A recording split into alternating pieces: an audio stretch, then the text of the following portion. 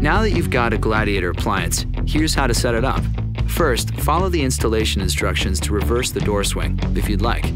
Now, you'll need the following tools.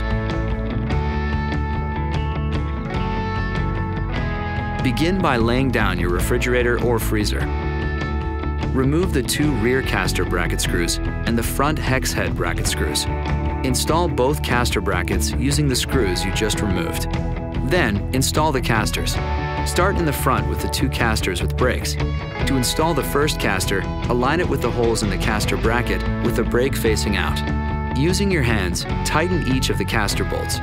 Then tighten the bolts with a wrench. Repeat with the other three casters. Lock the front casters and stand the unit up. To install the foot pedal, start by opening the door. On both sides, loosen the lower bracket screws and remove the upper screws. Using the foot pedal keyholes, hang the foot pedal on the lower screws. On the door hinge side, tighten the foot pedal to the cabinet with the screw you removed earlier. Adding two washers, repeat on the non-hinge side. Tighten or loosen the actuator screw to adjust the tension to your liking. Plug in the unit and roll it into its final position.